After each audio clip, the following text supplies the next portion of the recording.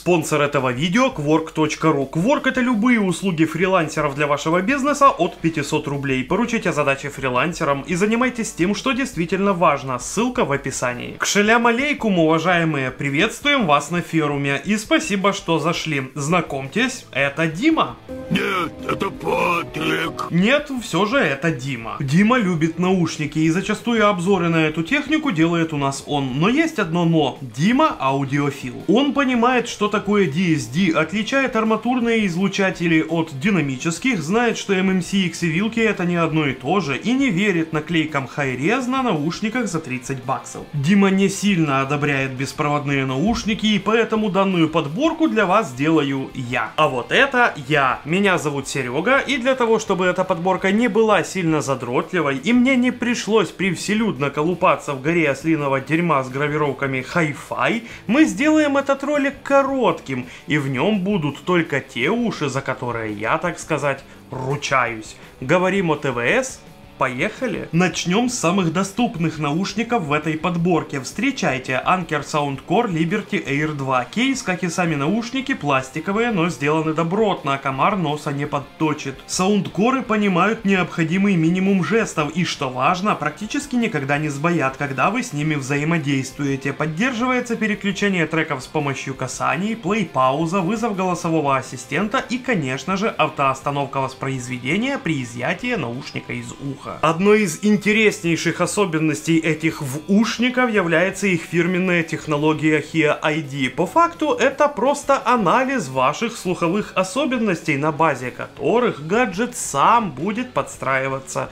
под вас. Перед тем, как юзать саундкоры по полной, установите фирменное приложение и go проходить тест. Также в число козырей можно занести и шумоподавление при телефонных разговорах. Пусть оно и не самое лучшее, но оно есть. Что еще важного, перед нами динамические наушники. Версия Bluetooth 5.0, поддерживаемые кодеки AAC, aptX и SBC. Дальше у нас наушники по имени TFZ X3. Есть лишь одно но, конкретно эту модель сейчас уже очень сложно купить. Но китой он на то и китой, хлопцы там друг у друга все порядочно спи.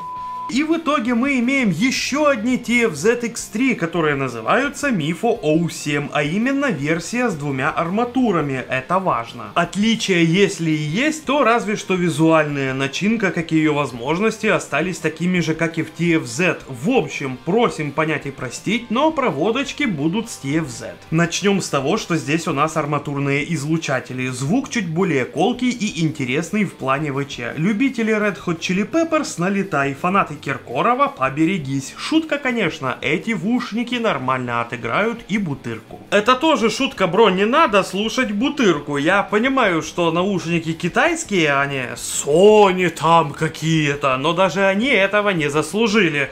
Давайте ограничимся Киркоровым как нижней планкой. Итак, что у нас тут интересного? Кроме металлического кейса и пластиковых корпусов наушников, стоит отметить все те же жесты, по факту аналогичные Anker Soundcore Liberty Air 2, а именно переключение треков, плей-пауза и вызов голосового ассистента. Всеми любимого жеста «А?» Тут нет.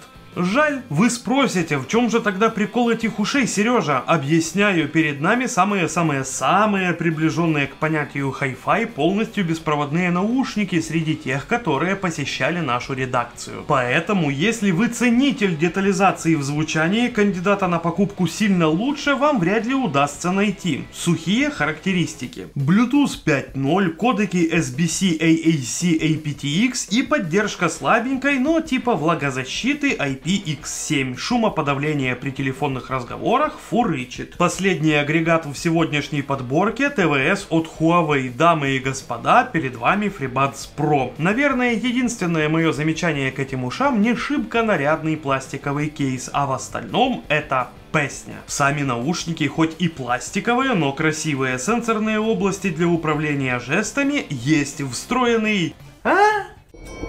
Имеется беспроводная зарядка и быстрая зарядка по проводу тоже. Шумодав на месте, при этом есть несколько типов шумоподавления, а также режим прозрачности. Выключить все эти настройки само собой тоже можно. Отдельно в приятности занесу и тот момент, что гаджет легко работает сразу с парой смартфонов и относительно быстро между ними переключается в случае надобности. Обязательно ли использовать их вместе со смартфонами Huawei? Нет, конечно, у меня на iPhone все работало так же четко, как и на Mate 40 Pro во время его теста. Ну, тут стоит вспомнить еще и тот момент, что для трубок Huawei существует еще и красивая анимация при сопряжении, что правда, думаю, покупать для этого их смартфон вы вряд ли станете. В целом, именно FreeBuds Pro из всего этого трио я назвал бы самыми сбалансированными ушами. Они могут и в технологии, и в звук. По детализации стоят эти наушники буквально на ступеньку ниже тех же TFZ, но если это все сдобрить и отличной посадкой в ушах и всеми технологическими хитростями, о которых я заикнулся ранее, получается топ-продукт. Очень рекомендую, полагаю, что скоро сломаюсь и куплю себе такие. Характеристики Bluetooth 5.2, кодеки AAC и SBC, и чуть не забыл, это тоже динамические наушники.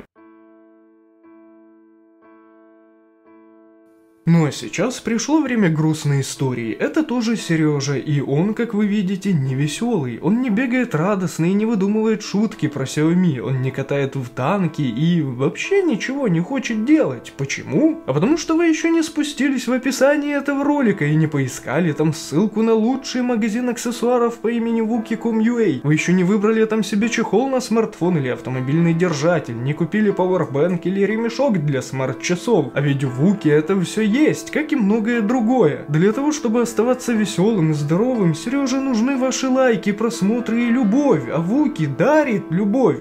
Купи чехол, спаси YouTube, спаси планету, сделай, Сережа, хорошо.